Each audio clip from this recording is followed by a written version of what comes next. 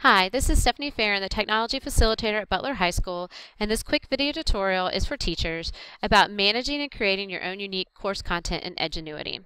So in this video, we are going to cover what courses are currently available in Edgenuity, how you can customize those courses to fit your specific needs by customizing the content and the course options, such as grade weights, thresholds, and time limits.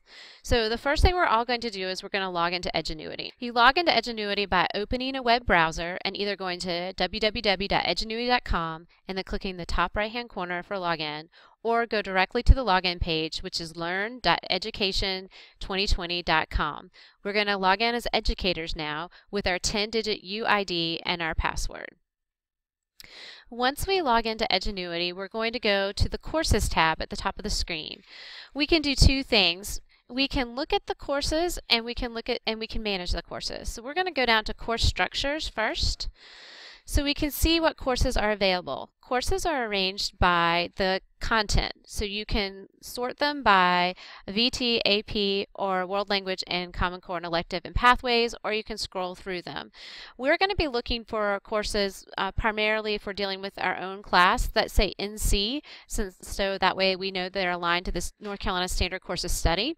If the courses say Butler, then that means that these are courses that we have created specifically for our Butler students that also have the North Carolina Standard Courses Study. Um, so those are also be good ones to look at.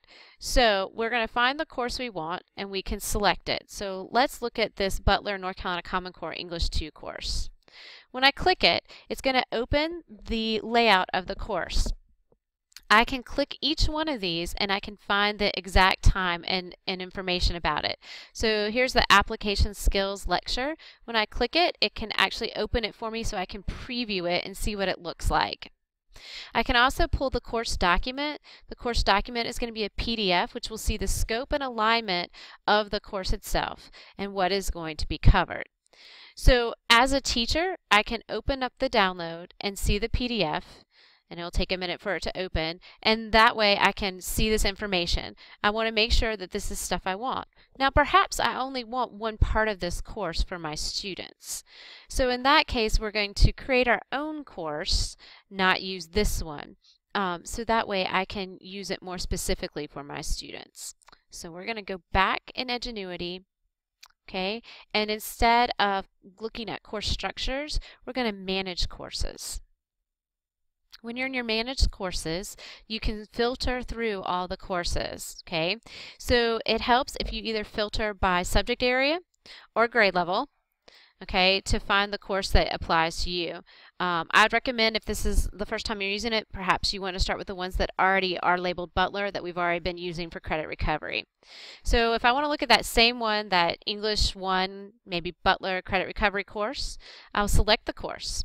Now I can simply enroll students from right here, but I'm enrolling them based on the current parameters of this class. If I want to make it fit my needs, I'm going to customize. And when I customize, you all are going to create a new course based on this topic.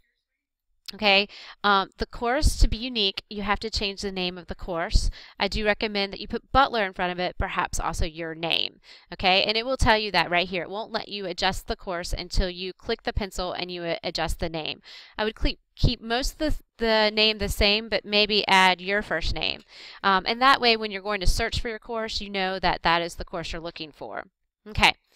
When I'm at the customizing course page, then it shows me the expected number of hours for the student to work through the course. This one's 46 hours, 43 minutes, the exact number of lessons or units, and the exact number of activities. Now, I can open each one of these to see the activities and which ones are turned on and turned off by the check mark.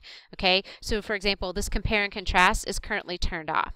So if I only want to do, say, one unit in my course, I can make a course that is just on mythology, add this unit, delete all the other parts and hit save. And then I just have that one unit mythology that I could then assign to my students, which would be 2 hours and 24 minutes, okay, currently.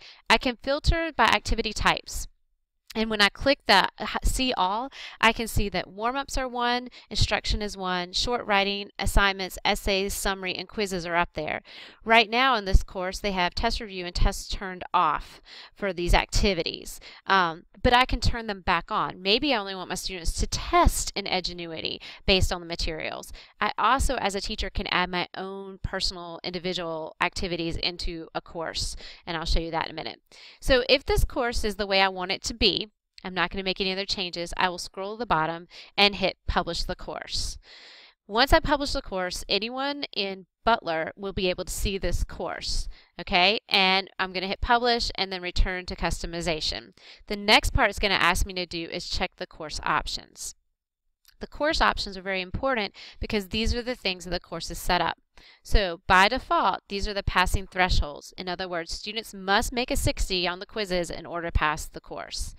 And then here are the grading weights for each of the assignments to equal 100. You can change these grading weights as you want. Okay, and hit submit. Okay, under assessment options, enabling spiral review means that if a student fails one part, it Edgenuity will pop the kid back to a previous part where they were missing the material to then go through it again. Um, that's a choice. You can allow them to save or exit the quizzes or view and hide the questions and allowing e-notes. Now, the options here, if you save and exit quizzes or tests, it allows the students to uh, exit and then come back. Now, in all Edgenuity courses, you can come in and on the fly make changes. So say you need to add a unit, they didn't understand something in mythology, you could go in and do that on the fly as the students are working. Automatic progression means that they move on. These are the number of failed attempts for each assessment. Uh, it's set a default as two. You can add as many as you want as a teacher individually to the student or to the whole class. Um, you can do a grading method I automatically like doing a grade, but um, as a teacher, you can go in and review each of the activities and manually change the grade if you want. Teacher review. By default, Edgenuity's teacher review courses, if they've been set up for North Carolina standards and CMS, um, is that exams and tests will not be unlocked until teachers are, are allowing the student to do that. So that's really good. Allowing free movement here, this is important because if you want the students, if you want to give them all of the ninth grade English 1 course and allow free movement, then they can self-select and go through the units that they need help with. If it's not selected, the students must navigate through each unit in the order that they are in in order to progress through the course. So that's kind of a, a teacher choice. Pre-testing, this is what's automatically turned on if it's a credit recovery course. The way pre-testing works is for each unit, the student gets 10 questions of a pre-test. If the student matches the threshold of 80, then they are exempted from the pre-test of that unit. Okay, you can choose whether or not the students see the correct answers in the quiz review. There are more questions in the quiz review than choices, so if the students have two attempts, they will not necessarily get the same questions again. You can set a time limit for the assessments and you also can set a start and end time for the course. This is extremely important because this will set the information uh, for your course organizer and how many items the students need to complete at each time. Prescriptive pretesting is what you'll have at the beginning or things that you want, and you also can add a course code enrollment. So you'll change these and submit changes. Once you finish that, it will ask you if you want your students to be assigned to the course, if you want to assign them right here, or if you want to update this course if students are already assigned to it. Um, that's why changing the name is so important. You don't want to change the settings of a course that students are currently enrolled in to affect all the students in Edgenuity. So make sure you make your own course um, or update the course and the students in the group. Okay. So once you do this, then you can assign your course to your student. Okay, so if I want to assign this to a student, I can go back in to my students, manage my students. Once I'm there, I can select the students that I want to assign them to. I click their courses.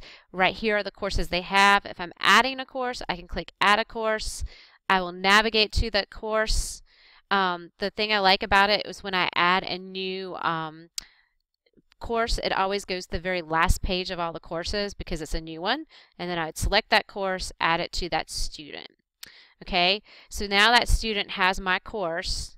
I can add multiple ones. I can add it to a whole group of students, and then that student would have my course. So if I look at her courses, she's going to have my course here okay? And then from here I can manage the course what the students are doing how they're currently involved adding retakes looking at the grade book uh, customizing the assessments on the fly as the student goes. So this is a way that you can take a course or content that's in Edgenuity and make it your own and make it apply uniquely to you